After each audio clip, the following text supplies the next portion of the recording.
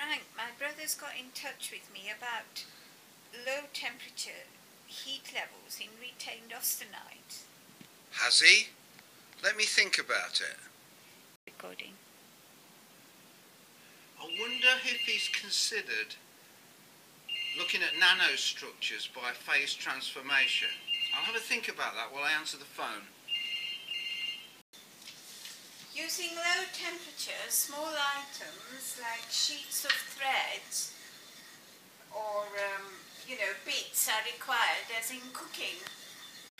So, it seems to me we could help him by suggesting he applies the principles of Chinese chopping, small items cooked at low temperatures, to the austenite, and therefore enable the um, transformation to take place. I'm going to write to him like that.